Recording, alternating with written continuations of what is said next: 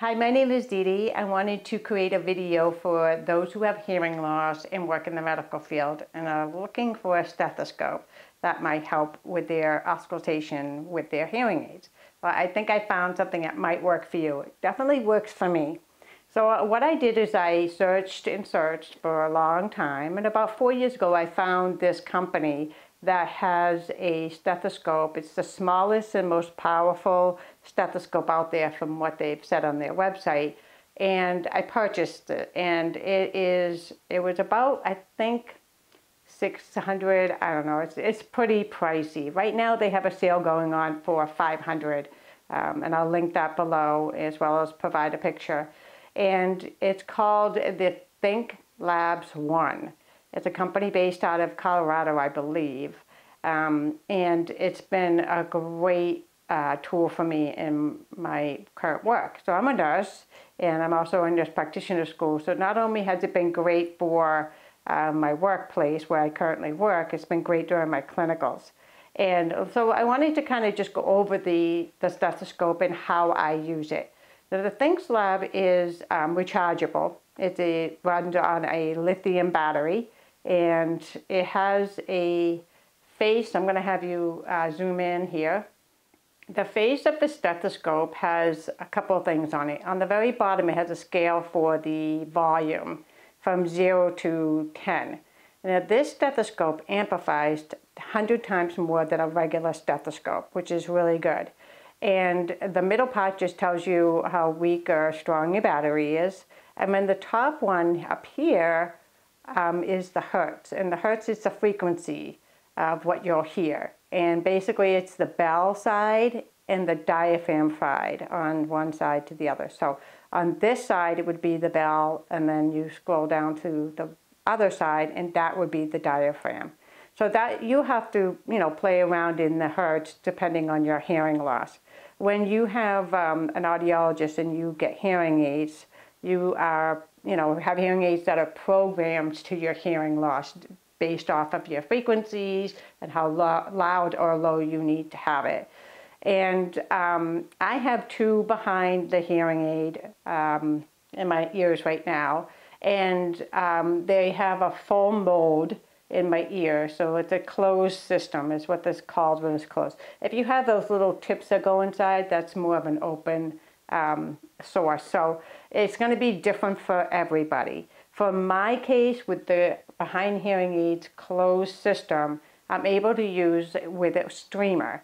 Um, most people, like the hearing people, um, healthcare providers that use a stethoscope, um, use like headphones, big headphones, or they'll use little plugs in their ears, just like you would use on your phone or, or whatnot. And so what I've done is I purchased a streamer that is the same company of my hearing aids. So I have Phonaks hearing aids and I have a Phonaks uh, streamer. And the streamer is, um, I think it cost me like, I don't know, a couple hundred bucks, maybe 300 bucks. Um, I went through my audiologist and got that one. Um, I don't advise buying it online because I did that, that in the past and it didn't work. So um, go through the audiologist because they can test it with you and make sure that that particular streamer works with your hearing aid because they're not universal. Um, some are, and I don't have a lot of experience with it. I just wanted to talk about what I have. So I have a Phonaks streamer. It's called a ComPilot 2. And it's made by Phonaks, and so aren't my hearing aids. So those two work together. They're compatible. And from here, um, what I've done is I also got a stereo cord it's a, a typical stereo cord or wire, whatever you call it. And on the end, it has um, the male side that has two black stripes, if you will, and that works great into a phone or, you know, not the latest um, iPhone unless you get an adapter for that. But most of the time you can plug this into anything and listen to music that way or or listen to your phone or whatever it is. But this one does not work in the ThinkLab. And, and so when I plug it in, it's very loose. It just kind of like wants to fall out. So I had to find something that was going to work in the Think Labs stethoscope. And so I had to get an adapter. And the end of this adapter, you'll see that it actually has three strips. So I'm not technical with this, you know, maybe you guys can tell me what the name of these things are, whether it's a 3.5 millimeter, one and eighth inch, I don't know. I have no idea. But I knew I had to have those three black strips in order for it to work in my stethoscope. So you plug it in and it fits nice. It's not loose at all. It won't come out easy. And then I can plug in the wire and now I have a nice secure um, you know, entry into the stethoscope. The other end just is a typical two stripe. Please help me tell me what that is. But there's a two stripe um, and a male end. And that's just going to go in the uh, streamer itself. So it is a direct audio streaming to my ears. So, and what I mean by that is my hearing aids are programmed by my audiologist. And so now the stethoscope goes through the wire to my streamer and it automatically goes directly through to my hearing aids through my programs, which is really a plus. So that's kind of a cool feature. Now, when I'm going to be turning on the stethoscope, and I'll have you zoom in, or I'll zoom you in, and um, I'm going to show you how it turns on. And you'll see that the stethoscope will start blinking. And when it starts blinking, then it will tell you what your last setting was, which is great. So you don't have to set it every single time. That's awesome. So the bottom is a volume and I have it set at four. Now I have um, severe to profound hearing loss. Most of my good ear, my right ear is my good ear. That's where I hear most of my sounds. My left is not very good. I can't, I don't have very good word recognition over there, but I do hear a little bit of sound. So I have it at four. Sometimes I may have to go up to five, but I haven't been able, you know, I haven't had to go past five, which is really good. So it is a zero to 10. Again, it's a hundred times more um, amplified than any other stethoscope, so it's much louder than any other stethoscope. The top part, I have it set, I think I have it set in the middle. I have it set in the middle, so I'm between the bell and the diaphragm. So I picked a frequency that works for me so that I can hear or auscultate sounds well on lungs, heart, or even your, the uh, belly, the abdomen. So that's set for me, and the battery life is good. I just charged it not too long ago. So from here, I will go ahead and place it on my chest and listen for my heart sound. And what I will hear is the lub-dub, like you should hear.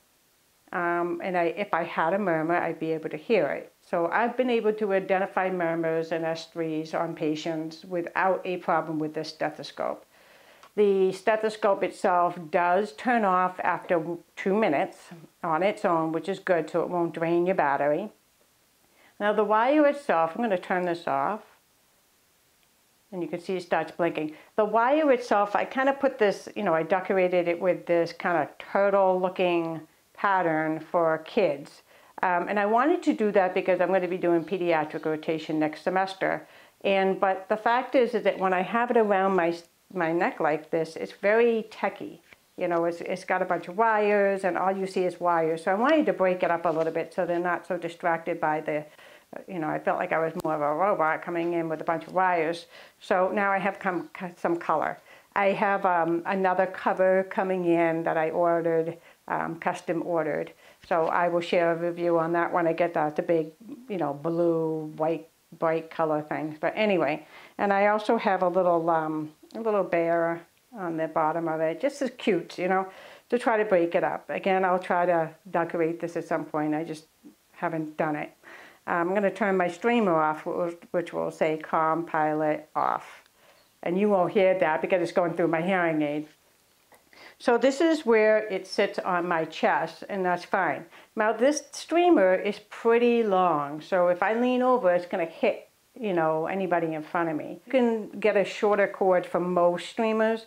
I have one that's um, much shorter that I ordered through my audiologist and it's, it's great. So I can put it around and it actually will plug into my streamer and I'll show you how I do that. So I unplug my streamer on both sides and then I put the new one on and wrap it around my neck and put it on my neck.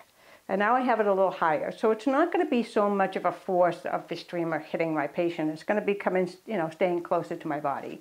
But I have a lot of room with this wire. I'm still exploring and investigating how I might be able to shorten it, make it a little, you know, not so I don't need to listen so far away. I only have to go about this far. So I don't need all this cord. And it's, it looks like a regular stethoscope, right? But you can also have it off your neck and just put it in your lab jacket if you have one, or you can put it in your pocket. You know, I've done that before. Um, this is just quick and easy, and I can just go ahead and just do it like this. Um, so that's the stethoscope. That's the Thinklabs 1 stethoscope with a Phonaks streamer going to my Phonaks hearing aids. And uh, it's worked really, really good for me. I wouldn't change it for anything. It's expensive, yes, but it's well worth it. So I hope that helped. And if you have any comments or if you liked this video and found it helpful, I would love to know that.